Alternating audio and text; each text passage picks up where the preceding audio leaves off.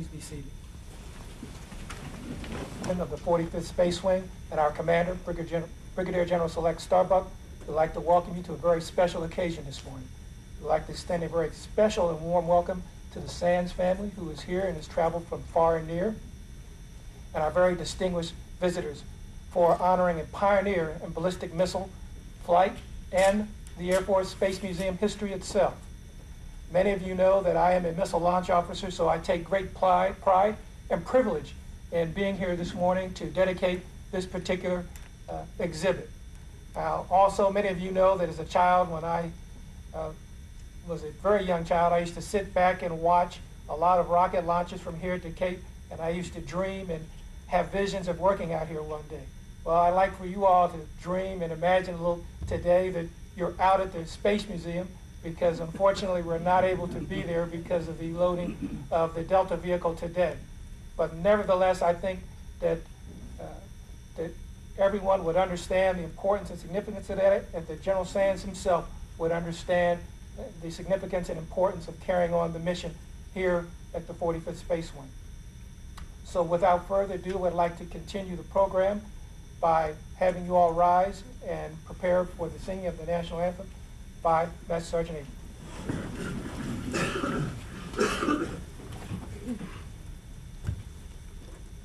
Oh, say, can you see by the dawn's early light what so proudly we hailed at the twilight's last gleaming, whose broad stripes and bright stars through the perilous fight.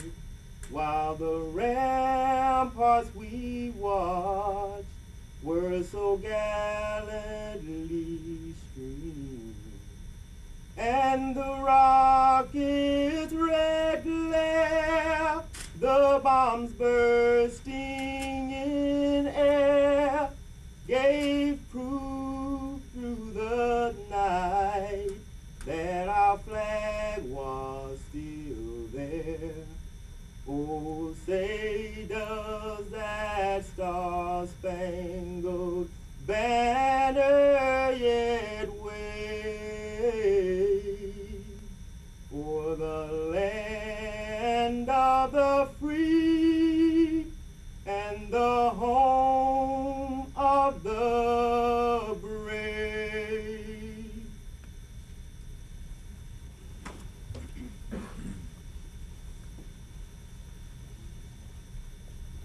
pray with me.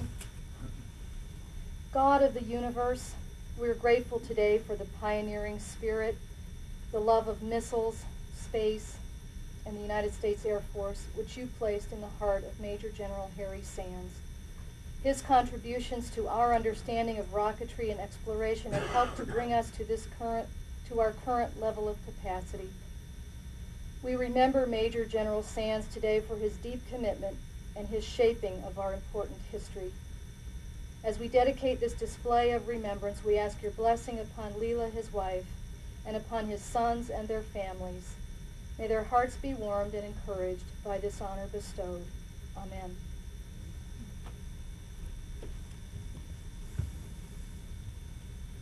Ladies and gentlemen, take your seats. At this time, I would like to introduce the head of the Air Force Space and Missile Foundation, Lieutenant General Henry.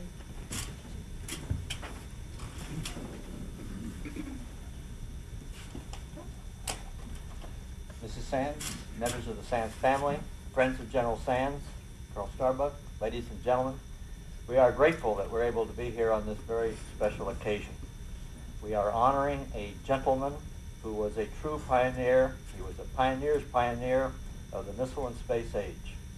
In my last conversation with General Bud Sands, he told me about the time in Wright-Patterson Air Force Base in 1946 or 47 when he was called into General Craigie's office. General Craigie is another pioneer, and said, Bud, the Germans have been may have latched onto something with their V1s and their V2s, and we need to understand the implications of what they accomplished.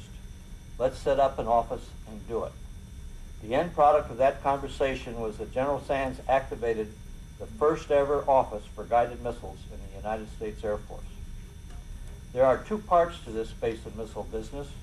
One part is the research and development or acquisition, and the other part is the tests and operations part. I call this last part is the part where the rubber meets the road. General Sands gravitated to where the rubber meets the road. He understood that the most important part of any program is its eventual utility to the soldier, sailor, or airman.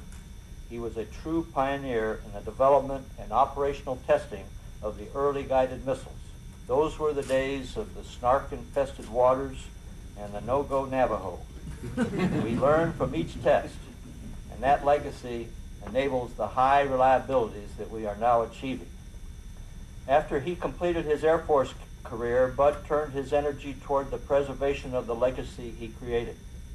He was a leader in gaining Air Force approval for the Space and Missile Museum. He foresaw the need for financial support and provided the leadership to establish the Missile and Museum Foundation. And he gathered together a core of dedicated volunteers who have made the museum what it is today. It is unfortunate that the pace of ongoing Delta things will not let us hold this ceremony at the museum because this is where we should be. Everything that we have out there reflects his legacy.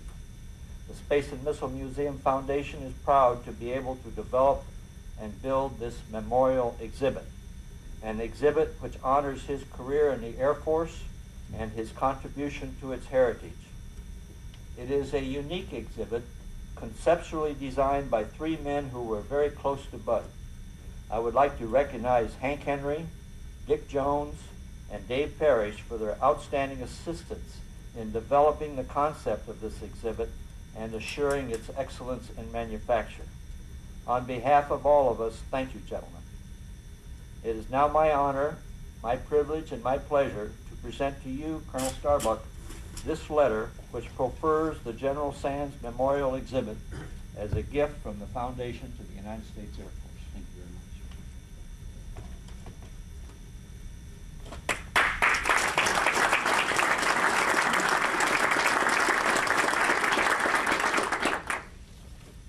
Well, if you don't know why you're here and you're not out at the museum, I'll tell you why you're here.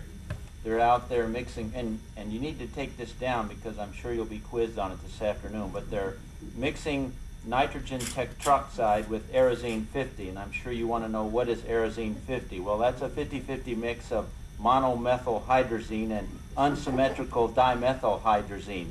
So if someone says, why did you go to building E&L instead of the museum, it's because they were mixing all of those big words together. And uh, basically what that is, that's two things that when you mix them together, they make a huge flame and burn it over 2,000 degrees. It's very, very dangerous stuff. But I think uh, General Sands would understand uh, why we're here and not out there. But the important thing is that this display will be out there for thousands of visitors uh, to see. Um, and there are many who love America's space program, and we're, we're, we're here to honor uh, General Sands.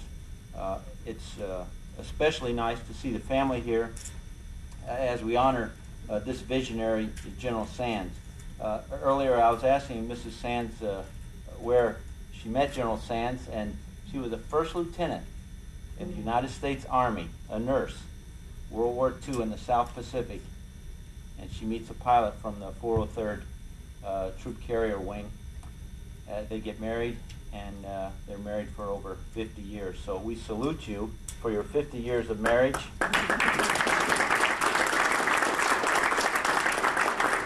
We salute you for your service to the nation as a uh, nurse in the United States Army, which uh, happened at that time to be uh, the United States Air Force. As you all know, it didn't come about until 1947, so uh, uh, we appreciate your service too. Um, one of the reasons that we have uh, the museum is uh, to help us remember things like rockets and complexes and hardware.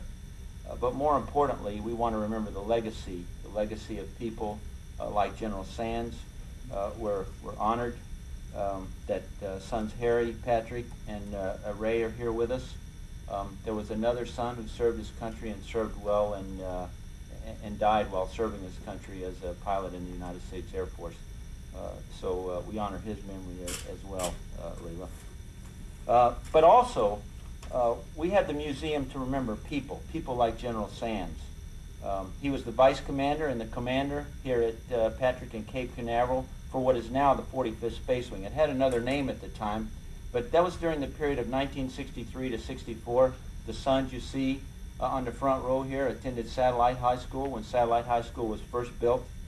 But let's go back to that period, 61 to 64, just that small period when General Sands was the commander here.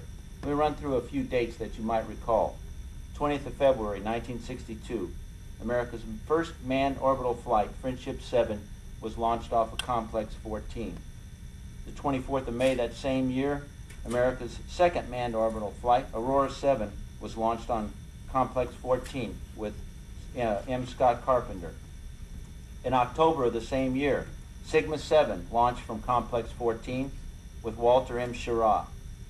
In May of 63, the following year, the Faith 7 was launched with astronaut L. Gordon Cooper, where he completed 34 hours and 22 orbits in space uh, before uh, a landing. That was the last Mercury flight. All of those Mercury flights occurred uh, during General Sands' tenure as, the, as the commander. Uh, following that, he went on to a tour at the Ballistic Systems Division in Los Angeles, and while there, under his leadership, the United States developed several of the ballistic weapon systems whose technology has evolved into the space and missile systems we currently use. Anytime a Delta, a Atlas, or a Titan rocket is launched, it has General Sands' fingerprints on it. He was a brilliant man, driven, demanding. But those were tough times. It was the height of the Cold War and the beginning of the space race. There were times that demanded cutting edge leadership, and General Sands was the right man for the job. He was one of those special leaders who could inspire people to achieve more than they believed they could accomplish. And we had a lot of failures at those times and a lot of disappointments. But due to the leadership, the guidance, the counsel, the instruction of General Sands, um, we came out on top. We won that space race, and we won that Cold War. His teams produced results. Those results helped us bring us where we are today. Programs such as Atlas, Thor, Titan, and Minuteman, tested and launched under his watch, flourished. We as a nation owe your, your father and your husband a debt of gratitude. Anytime a rocket is launched from the Cape or from Vandenberg, we can rest assured that General Sands is up there smiling, saying, we paved the way and we did it for peace. And when we launched that Delta rocket on Sunday night, I can assure you that his memory is preserved every time we do that. To the Sands family, your father and husband was a great American who left a proud legacy of technological developments I can only hope that those of us who are carrying on the reins of responsibility he passed down can maintain his legacy and live up to his standards. The Air Force Space and Missile Museum is a monument to his contributions and devotion to our space and missile heritage.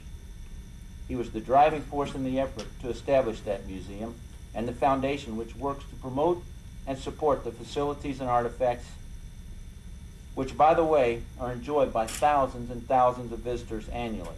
With the dedication of this exhibit, those visitors will get to know firsthand about one of my personal heroes, Major General Harry Sands, as well uh, as more about the foundation that keeps the museum going. Our museum is a showcase heralding American history like no other.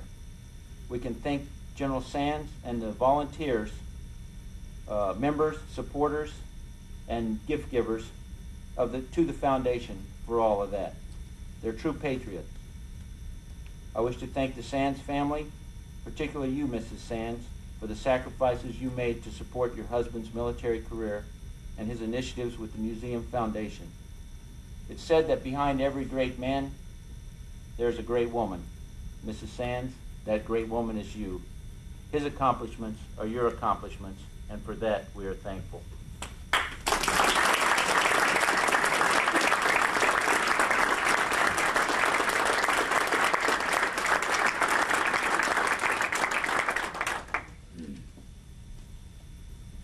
Thank you, Colonel Starbuck. I don't know how to respond to all that. more, more than I'm. Thank you so much. On behalf of my three sons, Harry, Pat, and Ray, and myself, I want to thank the 45th Space Wing, the Museum Foundation, and the volunteers, all who worked so hard to provide this fitting memorial to my husband, the late Harry J. Bud Sands. The Air Force was Bud's life and his love. He treasured every minute of his Air Force career, and particularly, I think, the time he spent at Patrick Air Force Base as commander of the Air Force Missile Test Center. One of his great passions, of course, was the museum. He was instrumental in the formation of the museum in the early 60s because he felt it was so important to capture the history of those early days of missile and space development here at Cape Canaveral. Even after he retired from active military service, he still remained deeply involved in this museum. He persevered until the Museum Foundation was formed, then pursued establishing it with the state of Florida and the federal government as a legitimate tax-free institution. Even after Bud became so ill, and just before his death, he would constantly pursue avenues to support and publicize the museum and foundation. His frequent telephone calls to and meetings with U.S. congressmen, senators, astronauts, and Air Force officials was a clear demonstration of how he felt about this museum. And I'm sure Bud is looking down on us today with a great deal of pride and appreciation. Again, thank you for memorializing my husband in such a beautiful manner. My family and I are extremely grateful for your thoughtfulness and your kindness. May God bless each one of you.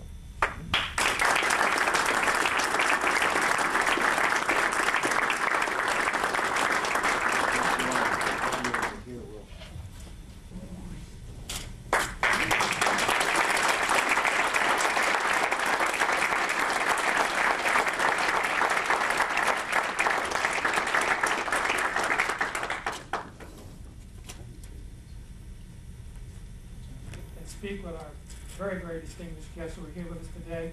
We also have refreshments in the rear, and that will bring to a close this very fine presentation on a very special day.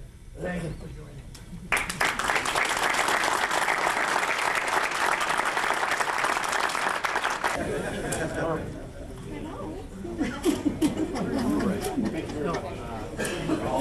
My next door neighbors for you. Oh, I remember you. Terry. Yes. How's Terry doing? How's Terry doing? He's doing fine. Yeah. Yeah. Terry Sands. Oh, yeah. One side of Canal, you're on the other. That's right. That's right. Somebody kept shooting bullets. Oh, yeah. Which one was that? Probably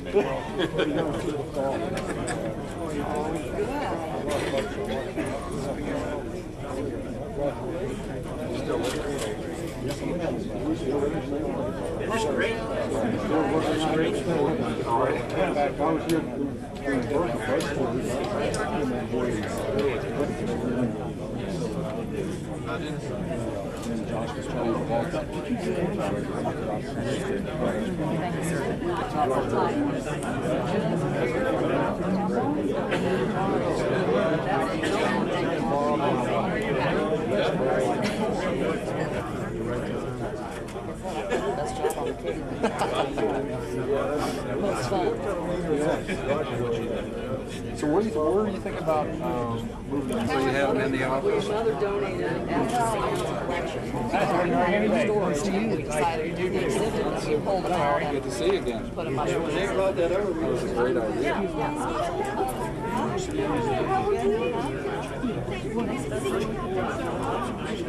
i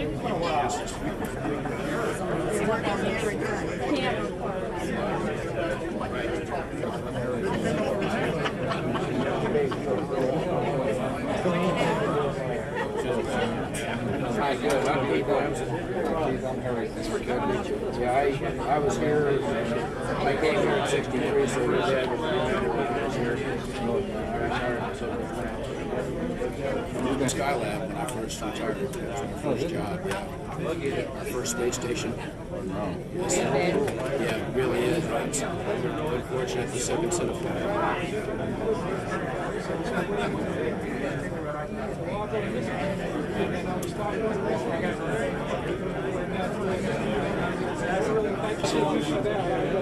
Nothing wrong with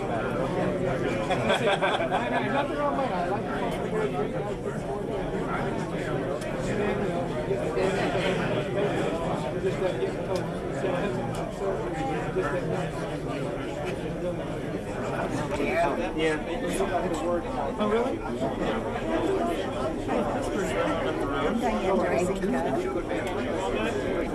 I just wish we could have had it out at the museum.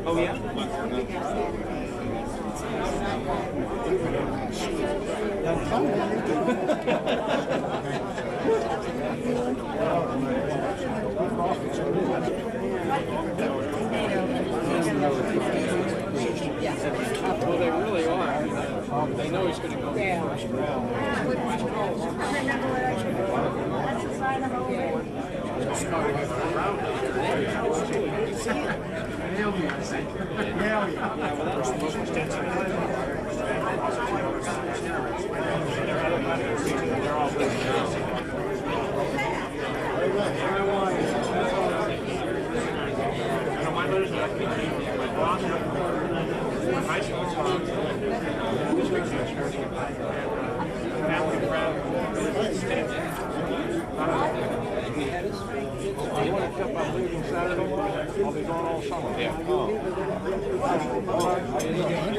in September. Oh, well, I have a September speaker lined up, uh, uh, Colonel, Colonel Thomas. But, but, uh, Hi! Oh, for goodness sakes! Back to stay or?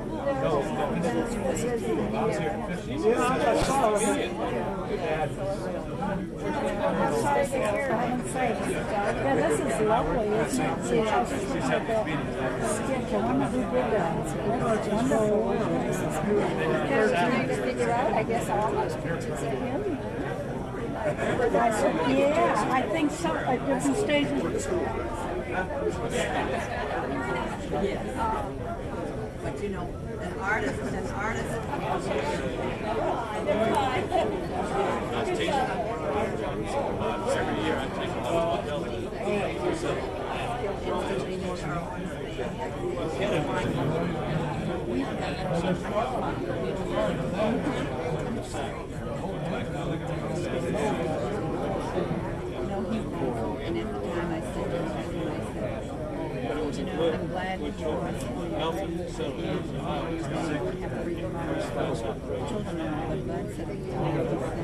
it would have been nice. This is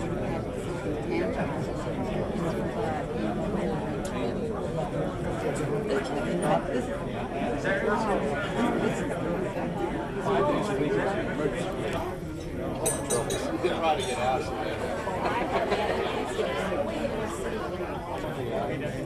no. No, no. it's not. Well, I, I'm assuming we never saw it again after we broke the, uh, the line that was tethered to the bottom with, was the last we saw him. So I'm assuming that he swam off and didn't just get pulled down to the bottom. But, uh, yeah. There it is. Great. Okay, thank you very much.